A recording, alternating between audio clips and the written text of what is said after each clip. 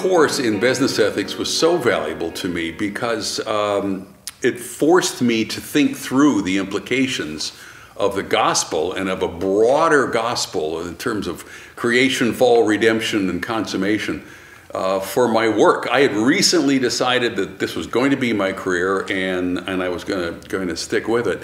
Uh, one of the things that happened in that class that I so valued is Dr. Jones had several uh, guest speakers come in, and one of them was Ben Edwards III. Uh, uh, providentially, uh, I believe that is the family that this building is named after, and the class was here at Edwards Hall. I put that together after, after uh, Ben was there.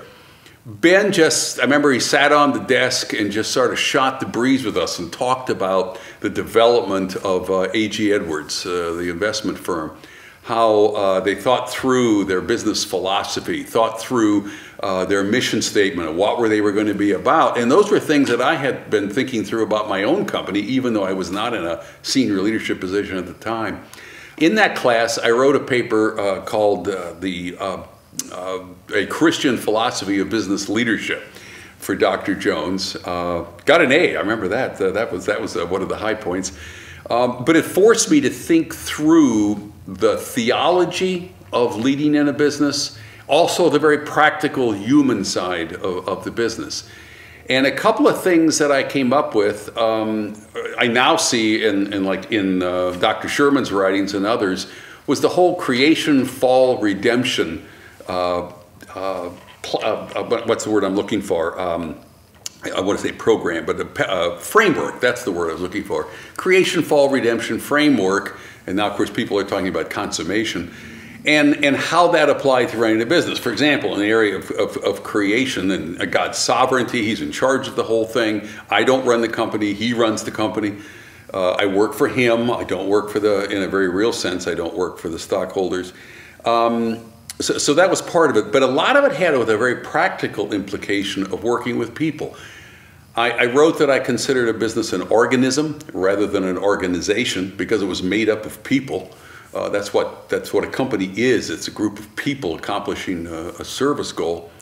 Uh, so that was part of it. Another part was realizing that people were created in the image of God, and what that meant was they all have inherent dignity and that it didn't. It, I, I use 1 Corinthians 12 to talk about how, um, while the context that the Apostle Paul was, was writing about there was the church, it applies to any organization, any organism, including a business. That the guy in the mailroom, I don't get to ignore him because if he doesn't do his job, the organism, the business, the company does not do well. Now, so that perhaps I was running the company but and I had more responsibility, but there was absolutely nobody in that company that was not critical to the success of that company. Um, that was the one side, was the, the created in the image of God. The other side, of course, was the fall. Uh, so the practical implication of that for my management style was that I tried to create an environment in my company where people could thrive and use their God-given gifts to be able to uh, to be able to um, develop their own gifts that God has given them for the good of the company and for the good of the customer. But the other side of that is I also had to understand that there were going to be selfish motives, fallen sinful motives, including my own, of course. Um, so what that created was I gave a great deal of freedom to my employees to be able to make their own decisions.